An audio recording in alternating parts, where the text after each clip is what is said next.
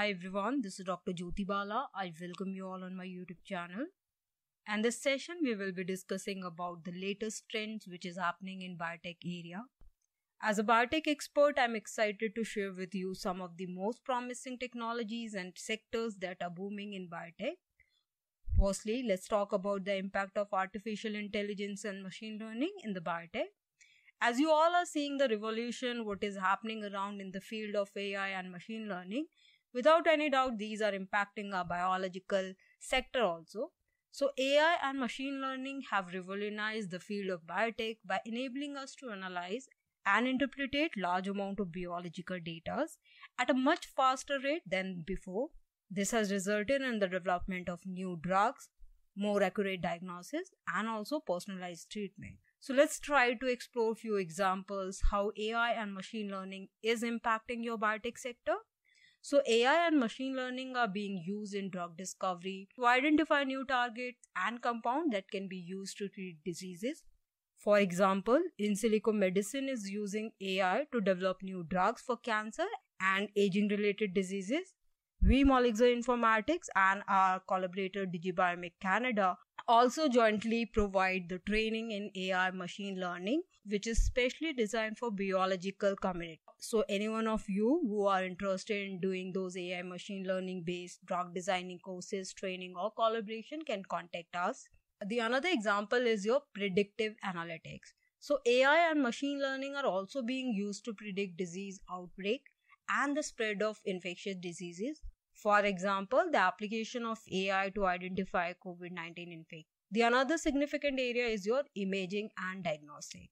AI and machine learning are also being used in medical imaging, diagnosis to improve accuracy and speed. There are many reports and studies where AI have been used to improve the accuracy of MRI scans and diagnosis heart diseases. Our collaborator DigiBiomic Canada is also using AI machine learning based diagnosis and clinical research projects. Moving on, let's talk about another fascinating technology which is aptamer technology. Aptamers are short nucleic acid molecule that can bind to specific targets such as proteins, cells with high affinity and specificity. And depending on its role, you can utilize these aptamers for diverse applications, say drug delivery, bioimaging, sensor technology, therapeutics, and so on. I've already made few videos regarding its overview, applications, and which are the best companies which conduct these kind of work and provide trainings. So I request you to watch that videos. I myself has 15 years of national and international experience in aptamer technology. So let me give you a few examples how you can use aptamer. Aptamers are being used to deliver drugs directly to the cancer cells, thereby minimizing the impact on the healthy cells. You may also use aptamer for biosensor purpose. Aptamers are also being used in a biosensor to detect pathogens and other biological molecules. For example, you can use aptamer for detection of foodborne pathogen. Aptamers are also being developed as therapeutic to treat a variety of diseases including cancer and autoimmune diseases. There are many aptamers which are currently under the clinical trial and already there are several aptamer based diagnostic products in the market. So next, let's talk about the multiomics. As you all are witnessing the data revolution, the sequencing advancement, and how it is impacting our biological, biotechnological sector. So multiomics involves the study of multiple omic data which include genomics, proteomics, metabolomics, etc., to gain a better understanding of biological system.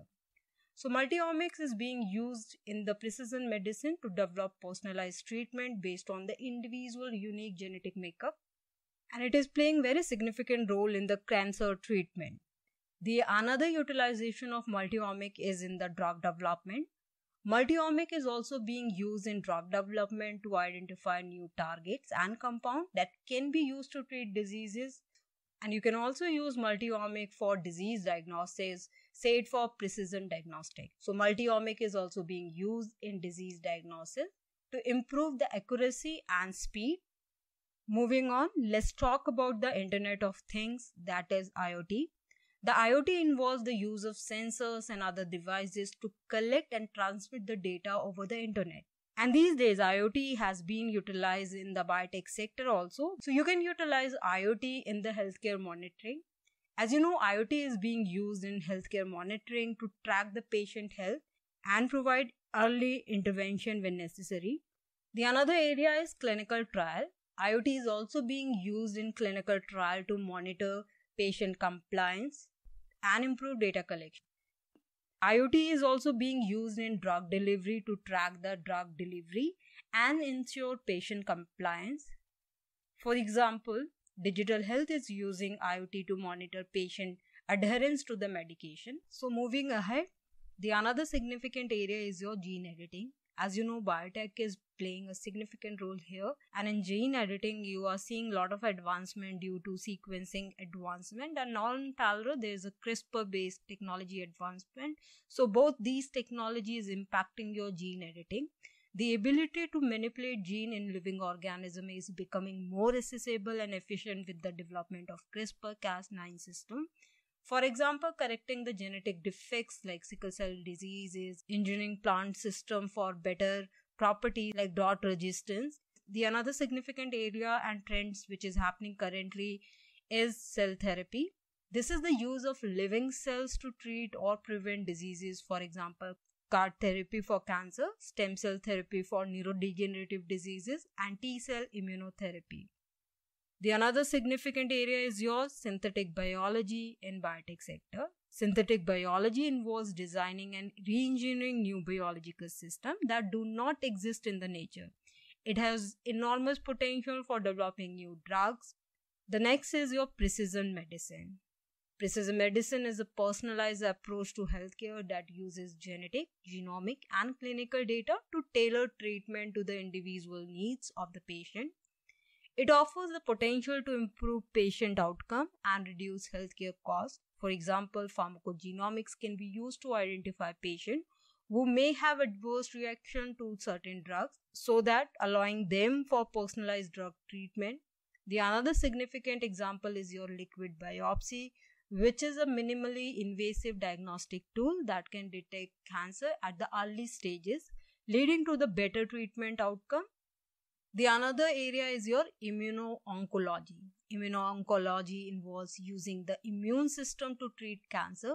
It has shown great promises in improving cancer treatment outcome. For example, the checkpoint inhibitors can be used to block protein that inhibit the immune response to cancer cells, allowing the immune system to attack the cancer. Cancer vaccines can be developed to stimulate the immune system to recognize and attack cancer cells. Additionally, adoptive cells transfer involves modifying T cells to target cancer cells and leading to improved outcome for certain type of cancer. The another significant area is your digital health.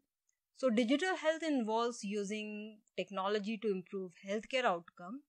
It offers the potential to improve the access of healthcare, reduce healthcare cost, and improve patient outcome. For example, telemedicines can be used to provide remote consultation with the healthcare professions, improving the access to the healthcare in the rural area.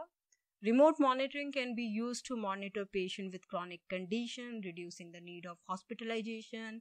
Electronic health record can be used to improve communication between the healthcare provider and reduce medical errors. Here, your AI, machine learning, and IoT are playing a significant role. The another area is your biomanufacturing. Biomanufacturing involves using living organism to produce valuable product. It offers the potential to create sustainable, renewable sources of product. For example, biopharmaceuticals can be produced by using bacteria, yeast, or creating a sustainable source of medication. Industrial enzymes can also be produced by using bacteria, leading to improved efficacy in the industrial processes. Biofuels can be produced using algae, bacteria, creating a sustainable alternative to fossil fuel. I have already made few videos uh, regarding biofuels, bioplastic, green chemistry. If you are interested in those sector, you can watch those videos also. Moving ahead, the other areas is your nanobiotechnology, which is also very significant one. Nanobiotechnology involves using nanotechnology to develop new medicine treatment and devices. For example, nanosensor can develop to detect cancer at the early stages. Nanoparticles can also be used to deliver the drugs to specific cells in the body, reducing the risk of the side effect. I've already made few videos on nanobiotechnology, its impact in the biomedical application, and also nanoinformatics. You can watch those videos for getting more information regarding these areas. The another very significant area which is having a great impact in multiple areas is your microbiome research, which is playing a crucial role in biotechnology. The microbiomes refer to the community of microorganisms that reside and live in or on a human body. Microbiome research involves studying the role of these microorganisms in human health and diseases. For example, probiotic can be developed to improve the gut health and reduces the risk of certain diseases. Fecal microbiota transplantation can be used to treat certain diseases by transferring healthy microorganism to the gut. Moving ahead, the another significant area is your bioinformatics and data revolution, which is impacting the biological and biomedical and biotech sector. Bioinformatics involves using computational method to analyze biological data. It plays important role in drug discovery, personalized medicine and other areas of biology and biotechnology. For example, machine learning algorithm can be used to identify new drug target. Genome sequencing can be analyzed to identify genetic mutation that increases the risk of certain diseases.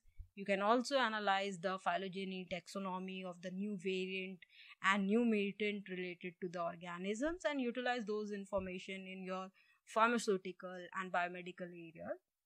The another significant area and promising one is your regenerative medicine. Regenerative medicine involves using stem cells and other techniques to regenerate damaged or diseased tissue and organs. It has a potential to revolutionize healthcare by offering new treatment for a range of conditions. For example, stem cell can be used to regenerate damaged heart tissue after a heart attack. 3D printing can be used to create personalized implant for bone and cartilage regeneration. The another significant area is your gene therapy. Gene therapy involves using gene to treat or prevent diseases. It has the potential to cure genetic diseases and other disorder. For example, gene therapy can be used to replace a defective gene by a healthy one to treat genetic diseases such as cystic fibrosis. It can also be used to modify immune cells to target cancer cells. Moving ahead, another significant area which you can enter is your biomaterial. Biomaterial involves using materials that are compatible with living tissue to develop new medical treatment and devices. For example, artificial skin can be developed using biomaterial to treat burns and other skin injuries. Artificial joints can be developed by using biomaterial to replace damaged joint. The another fascinating area is your biosimilar. Biosimilar are biological drugs that are similar to the existing drug and they offer the potential to reduce healthcare costs by providing more affordable alternative to the existing drug. For example, biosimilars can be developed for drugs used to treat autoimmune diseases such as rheumatoid arthritis. The another significant areas which is uh, booming a lot is your neuroscience sector along with the neuroinformatics. Neuroscience involves study the structure and the function of nervous system and the understanding of brain function. It plays an important role in developing treatment for neurological disorders such as Alzheimer, Parkinson disease. For example, deep brain stimulation can be used to treat Parkinson disease by stimulating specific areas of brain. I've already made videos on neurosciences and neuroinformatics. I request you to watch that also as I myself has experience working from USA in the areas of Alzheimer, Parkinson and neuro HIV AIDS. Now let's move ahead. The another significant area is your metabolic engineering. So metabolic engineering is also being used in biotech sector. Metabolic engineering involves modifying the metabolic pathways of living organisms to produce valuable products. It has potential to revolutionize industries such as energy, agriculture, and pharmaceutical. For example, bacteria can be engineered to produce biofuel or industrial chemicals that are more sustainable and environmentally friendly than the traditional sources. The another area is your bioelectronic medicine. Bioelectronic medicine involves using pulses to stimulate nerves and other tissues in the body. It offers potential to treat a range of conditions including chronic pain, inflammatory disorder. For example, a device implanted in a body can send electrical signal to the vagus nerve to reduce inflammation. The another significant area is your bioprinting. Bioprinting involves 3D printing technology to create living tissues and organs. It has potential to transform medicine by providing personalized tissue and organs. Additionally, the advanced trend is also happening in the food technology. Biotechnology is revolutionizing the food industry by providing innovative solutions to improve the quality, safety, sustainability of our food supply. Some of the top trends in food tech industry include plant-based meat substitute. Biotech companies are developing plant-based alternative to meat that mimic the taste and the texture of real meat. The another significant area in the food tech is cellular agriculture. This involves growing meat, dairy, and other animal products in the lab rather than on the farm, which could help in reducing the environment impact of traditional animal culture. The another impact is in the area of precision fermentation. This technology is used to produce protein and other ingredient through the fermentation of microorganisms, which can be used as a food additive and meat substitute. Biotechnology trend and advancement is also happening in agriculture. It's a trending and promising area and a country like India, where the last section of our economy is also based on agriculture. So the impact of biotechnology in agriculture is a significant one. Biotechnology is also transforming the agriculture industry by providing new tools and techniques to improve crop yield, reduces the environmental impact, and enhances the food security. Some of the top trends in agriculture biotech include genome editing. This technology, as you know, can be used to develop crops that are more resistant to pests and diseases, as well as crop with enhanced nutritional property. The another sector which is important here is your precision agriculture. This involves using data and technology to optimize crop management, reduces waste, and increases the efficiency. The another is your biologicals. These are the products derived from living organisms that can be used to enhance the plant health and protect against the pests and diseases. Biotechnology is also making waves in the beauty industry by providing new ingredients and formulation that offers better performance and safety. Biotech companies are developing natural and sustainable ingredients that are safe for the environment Microbiome friendly skincare. This involves using probiotic and other microbiome friendly ingredient to improve the skin health and balance. Cell based ingredient. Biotech companies are also developing cell based ingredients such as collagen, elastin, which offer superior performance and safety compared to the traditional animal derived ingredient. And lastly, a very important area where biotech is having a great impact is your antimicrobial resistance, which is a growing public health threat. And biotechnology is playing a key role in developing new solutions to combat it.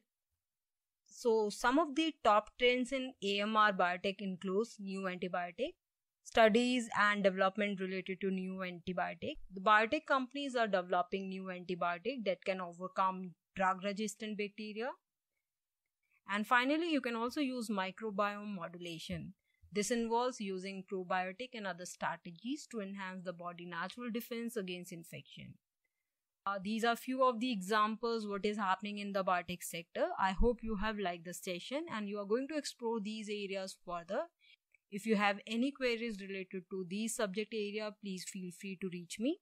And don't forget to like and subscribe the channel and do share these information among your scientific community and student. Thank you.